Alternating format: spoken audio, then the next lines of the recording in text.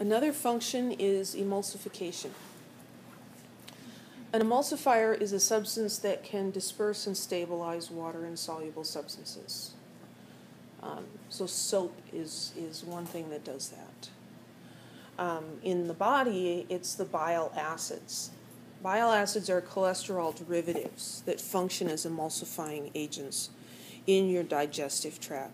So when you eat fats, your body needs to digest them and move them around, but they are not soluble in water.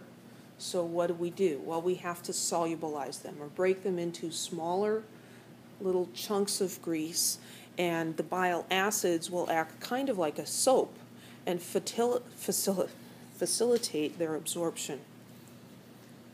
So, of the cholesterol that your liver makes, a third to a half of it is actually converted to bile acids for helping you to digest fat that you eat. So, the action of the bile acids is similar to soap, where it surrounds the, the fats and allows them to move around in the water. Um, the bile acids are tri or dihydroxycholesterol derivatives. Here is a cholesterol molecule, and these are derivatives, and we see the there's some differences. Here's two hydroxys on this cholic acid, and then this end here, um, this carbon 17 side chain has been oxidized to a carboxylic acid. So we see, whoops, we see that in common on these three different bile acids. Now, what's not being shown here is that the side chain is bonded to an amino acid, and we'll look at that in a minute. But these, these have two or th- three hydroxy groups on them. They're derivatives of cholesterol. So the body takes the cholesterol and makes these bile acids.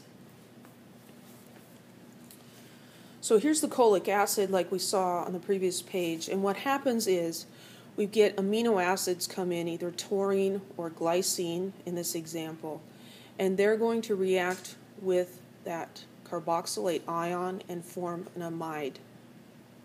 So we've got an amide here and an amide there.